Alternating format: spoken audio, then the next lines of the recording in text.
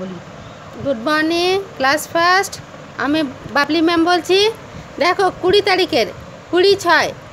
আজকের ডেটে লিখে কে লেখা আছে? আগে ও পরের শব্দ লেখো, ঠিক আছে? আগে ও পরের শব্দ। এখানে লিখেছি খ। খয়ের আগে কি? খয়ের আগে হয় ক, ঠিক আছে? তাহলে খয়ের আগে ক হলো, একটা খ। খয়ের পরে কি হলো? গ। তাহলে আগের সংখ্যা কি? আগের সংখ্যা হলো ক, আর পরের সংখ্যা হলো গ। ঠিক আছে? তেমনি তুমি উ আছে আগের সংখ্যা লিখবে, পরের সংখ্যা লিখবে। এখানে চ লিখবে এখানে ঘ লিখবে উ চ।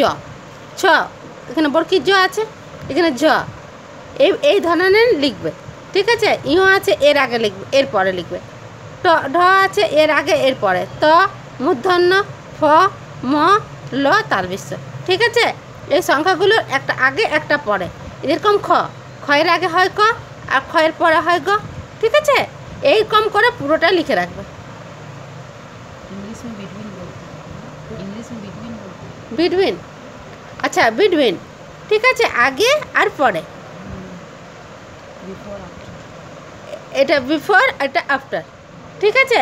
এ বিফোর আর আফটার এ এর বিফোর লিখবে এর আফটার লিখবে। হয়ে গেছে? Thank you